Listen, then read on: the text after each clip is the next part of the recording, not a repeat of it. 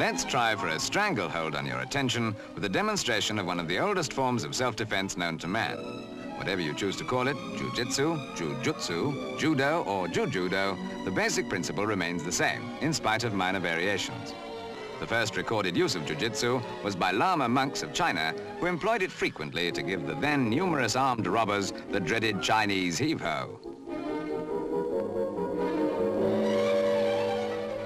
At this class in Highgate, London, pupils of all ages apparently fling each other about with gay abandon.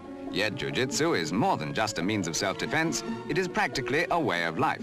It is claimed that it develops mental alertness, confidence, concentration, good posture, and for some reason, a pleasing personality. At what age should one take up this sport? According to some, the earlier the better. And a firm believer in this motto is a young man who already has considerable experience of jiu-jitsu. At the ripe old age of four, Master James Pook has already been awarded an orange belt for his extraordinary skill.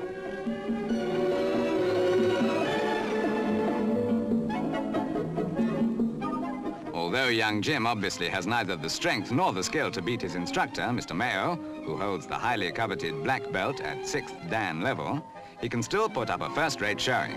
He is far above the average and can easily beat boys twice his age and size.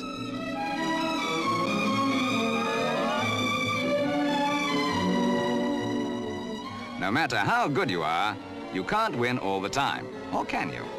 Just imagine what might happen to a clumsy kindergarten teacher unlucky enough to upset Jimmy's bricks. The thing could spread. Even the hand that rocks the cradle might be in danger of getting itself severely twisted. Well, you never know.